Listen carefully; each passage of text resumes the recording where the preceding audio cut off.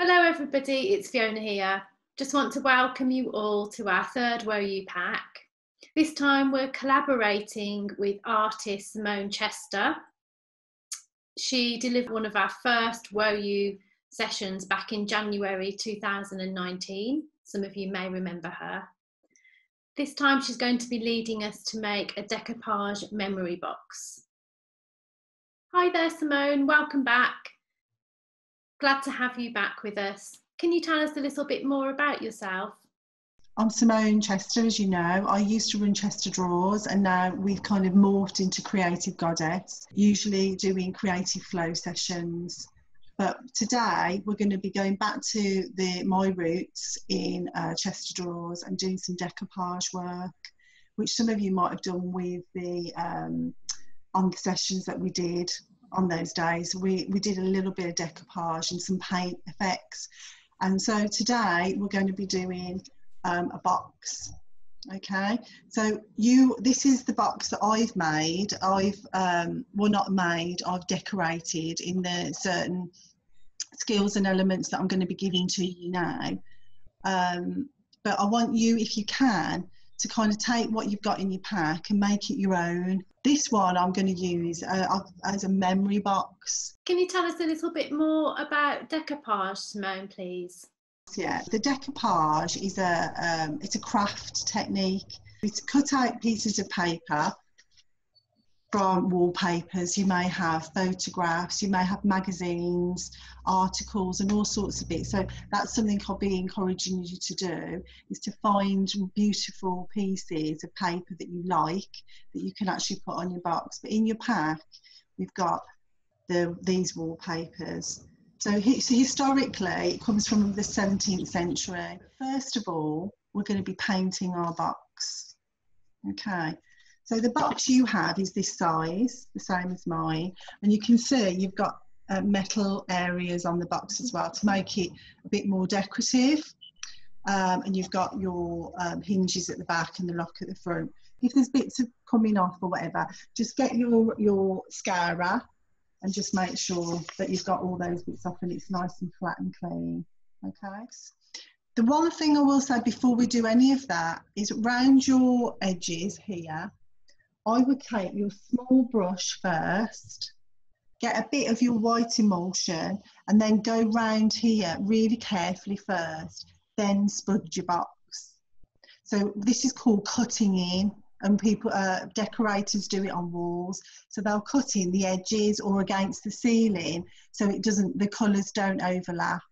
And that way you you hopefully won't get the color on your metal okay?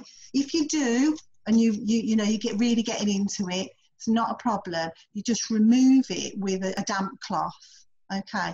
There's nothing wrong with doing that. If you want to go over it and then take it off afterwards that's a nice technique.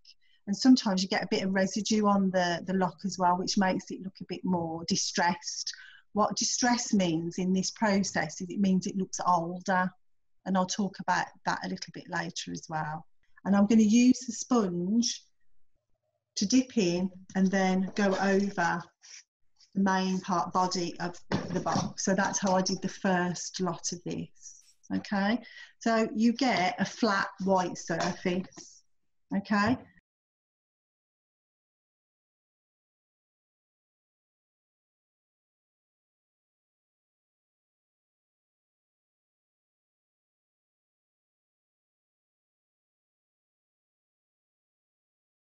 So then you wash your sponge because this is really important. It's a really important tool for us. So if you wash that, leave it all to dry.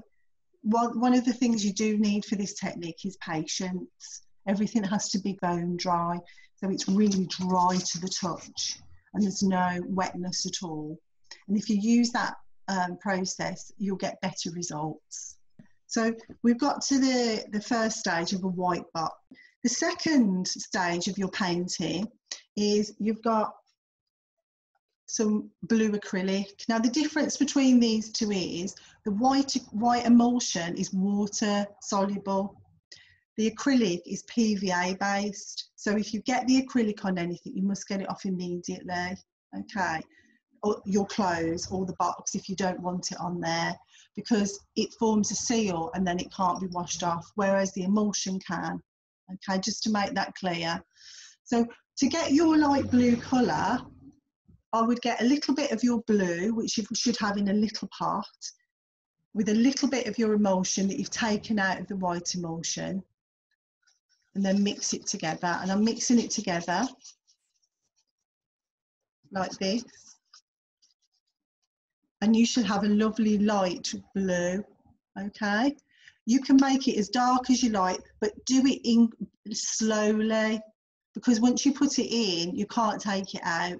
However if you've got a little bit of white left you can put the white back in but it's always easier just to to get the right color without putting too much in. You get your sponge again. You get the blue on. And then you go back over your white Okay, so we sponge, and this is called sponging. And it's a really nice technique because you can see some of the white underneath as well. So do it again nice and slowly. You might have bits on, and then the next time, if you want it a bit, bit more blue, you can go back over. But again, it's all about patience and slowly, slowly. Okay, so when you've got your dappled, it's called a dappled sponged effect. Okay, you let it dry. So you can see here, hopefully you can on here, I've got some bits that are white and blue coming through. And I really love this technique and you can use it on furniture and anything that you want really. Okay, then like I said, I went over the second part of my interior of my box with the blue as well. So I've got a bit of a, an, you know, a bit of decoration inside. Later, you can choose to put your decoupage inside as well. Okay. At this point now, we're going to start using the glue. So you can't really change your uh, paint techniques at this time. So make sure you do all your distressing and you've got your box nice as you want it. And then we can start sticking your decoupage on. Now you'll have, like I've, uh, I've shown you earlier, bits of decoupage. You've got a couple, hopefully you've got a couple, quite a few uh, little butterflies that we've put in, and loads of these little um, uh, like rosy kind of uh, flowers. If you've got things that you want, you've seen them in magazines, just cut them out and they will work perfectly the same. Okay. The best way you can see here is to really cut out the background. So you'll need some kind of sharp scissors. People suggest in magazines, etc., to use these knives, but I would suggest scissors more. You can keep control of it a little bit more. But the best way to do it, like I've said, is to really keep close to the object that you're cutting out. So all the background is removed. You might want the background, that's fine too but it be it all it fits better and it merges it, it kind of um, sits nicer on your piece if it's cut out as the object itself if that makes sense so when you have got your pieces cut out um, the best way to um, design your box and make sure that it's all how you want it is to do what we call a dry run without any any glue at all so I'm going to put my glue down I'm being an eager beaver there the next stage then is to actually um, attach it with the glue. The easiest way for me, I found, is to put the glue actually on the paper, not the object. Okay, some people like to put it on the object, I like to put it on the paper, and then I can still move it round if, it, if I make a mistake. So then when we've attached it, as it dries, it wants to curl away. It's just a, the natural gravity process. So you make sure that all the little bits at the end, like the end of these um, leaves and the smaller um, sections of the flowers are really stuck down. And if they curl up later, you just get your glue again and put a little dab on there and dab it back down. When it's all stuck down, leave it for a good, like I say, till it's bone dry if you get curly bits and you stick them down again, leave it all again. Make sure it's all kind of stuck down.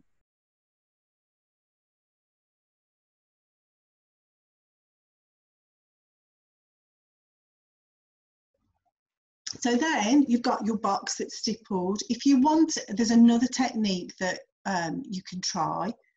Um, it's called uh, distressing, which I mentioned earlier. So you've got now a nice clean hopefully you washed your sponge make sure like every, the key here is to wash and dry everything in between you've got the scar bit of your sponge so if you want a little bit of you can run through and that kind of takes the blue off and you can see the white underneath. So again that's kind of taking it away rather than putting it on. And then you've got some quite coarse sandpaper in your um, your pack which is a yellow sandpaper. And you can really get into your box. So you could go right down back to the wooden. So you've got a really, really lovely way of, of, of trying new new things. And again, this, like I said, this is called distressing. And you can take this again into any part of your, so you can do it on paper, you can do it on your, if you try this technique on uh, bits of furniture at home. Okay, so that's again, that's this stage.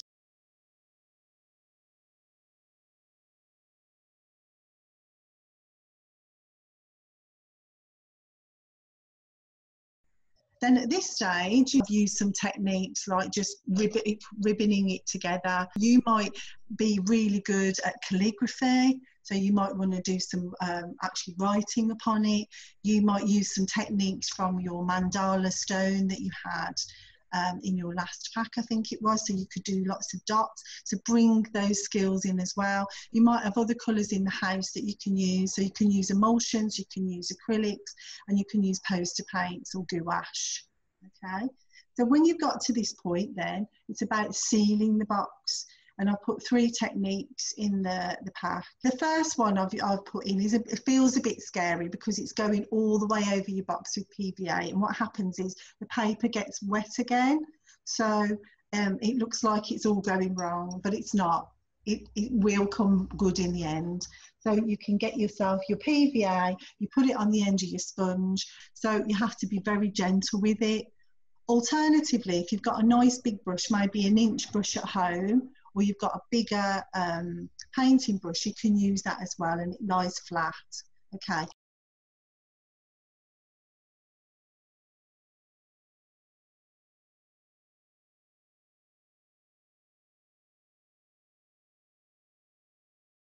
Don't do the inside because it goes smelly because we close it and then it can kind of form a, a mold or bacteria in there. So we don't want that. So if you can leave that natural, that's good. Okay. But your but the top of your box will be all sealed and you know that might last for 20 30 possibly 100 years if your box stays together. Um, some of these pieces i mean the piece behind me is over 100 years old and my nan um, did it over again. So it's just been built on and maybe later on one of your children might have another layer of your box. So it's something really beautiful to do together Okay, um, so there is your box. So the first, second technique, you can get some um, just a furniture polish that's wax based. You can spray it over, leave it, make sure you get it off the uh, metal bits because it will erode them, it will eat into them. So maybe if you do that, you might want to cover it with some um, petroleum jelly or you might want to cover it with some um, masking tape. Uh, spray it over, leave it, let it dry. Then you can keep spraying it over, and this is called building up the patina. It's a, a again another technique, and it'll just keep building, and it will go really lovely and shiny. And people get it to a stage where it's kind of almost like glass because they keep building up the wax, but that's over many years. Or if you've got some furniture wax at home, you can do that as well, and you put it on with the cloth, and then you take it off. So there's three techniques there. We've put one in for you to try, which is the PVA. Alternatively, you can just leave it au naturel because it is actually quite a lovely um, texture already. Um, and again, you, you might knock it, add to it, but actually that's natural distressing that I think adds to the box. But what I'd like, I really, really enjoyed myself was as I was doing it, I was kind of folding in some memories of me doing it as well and thinking about what I was going to use um, and put in.